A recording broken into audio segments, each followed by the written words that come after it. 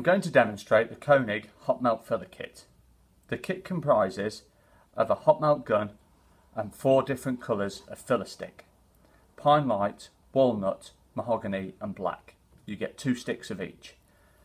This filler is ideal for filling knots, splits and that sort of thing in solid timber that is unfinished or untreated. We've got a typical knot hole here. The gun just gets plugged in. The stick goes in the back there. I'm just going to squeeze that, overfill it,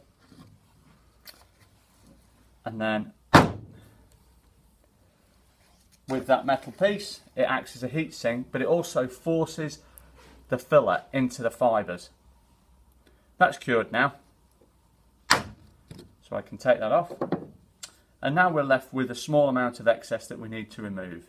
This can be removed by a chisel or something similar. I'm going to use this tool here, which is a metal plane. And very simply, we take off the excess.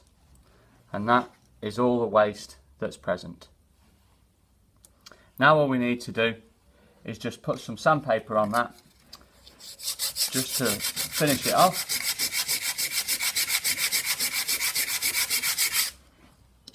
And now over the top of that you can stain, lacquer or paint over the surface. This filler will adhere with all of those types of surface coating.